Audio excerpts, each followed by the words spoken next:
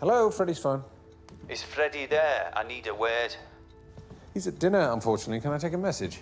My name's John Dixon. Who am I speaking to, please? Uh, you're speaking to Edward, his brother. Well, that's a coincidence, because I'm ringing about my brother, Tommy Dixon. You see, he hasn't come home, so I'm trying to ascertain his whereabouts. Is there anything we can do to help? Would it be all right if I dropped by tomorrow morning? If you think that would help, yes, of course. I smell trouble. Good afternoon, Mr. Dixon. This your gaff, is it? Yes? Very, um, Versace. Very impressive.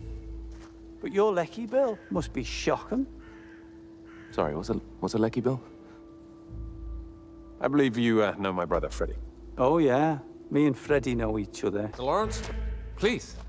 And uh, Bring the whole choir.